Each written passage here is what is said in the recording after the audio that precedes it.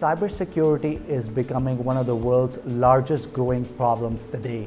Global and local economies are getting massively affected and organizations across the globe are now thinking it's not if we're going to get hacked, it's when we're going to get hacked.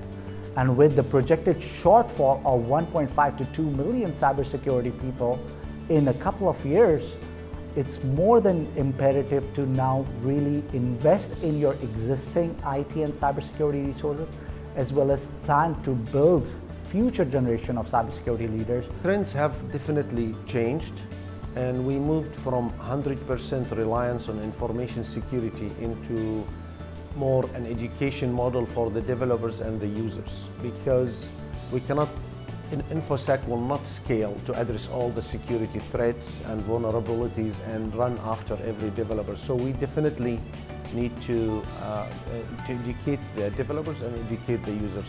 As reading about the tool, I found it was very interesting. I really wanted to see what it did and how it could help me. I think events such as today's Storm Workshop are critically important because they provide an introduction to people about the importance of cybersecurity and about the essence of ethical hacking. It also provides a forum for ITU to be able to let the community know that we are very serious about being a resource in the area of cybersecurity. ITU has a Master of Science in Cybersecurity.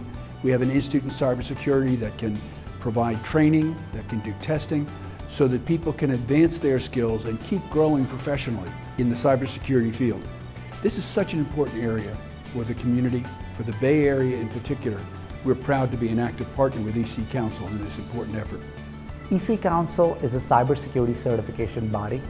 We work with uh, certification programs that address hands-on vendor agnostic attack and defense skills in the field of cybersecurity so skills such as ethical hacking, digital forensics, incident handling, disaster recovery.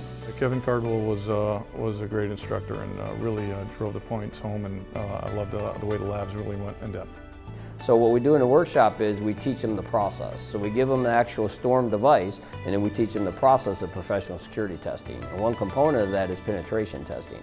So once they actually go through the workshop, they actually learn how to follow a process to do, actually create a report that a client can use to assess their risk to their environment. And that's the whole goal of the workshop is teach them how to use the device.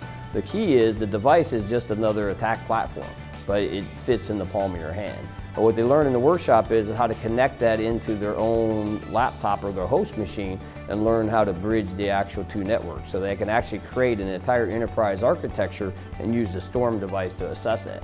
And since the Storm device is a small form factor self-contained, they don't have to do any risk to their actual laptops themselves. Wireless uh, penetration testing is an awesome feature, so a lot of people don't cover wireless or Bluetooth. It's accelerated. So we also give them six months of lab access with an e-book as well. We have the Computer Network Defense, we have the Certified Ethical Hacker. They are the normal follow-on courses from the Storm Toolkit class. Once they understand the process, they can perfect that process and become a member of either the Vulnerability Assessment Team, Penetration Testing Team. It's a great eye-opener that you actually have hands hands-on experience how to do the pen testing, how the hacking happens, and then how easy it is to be hacked these days.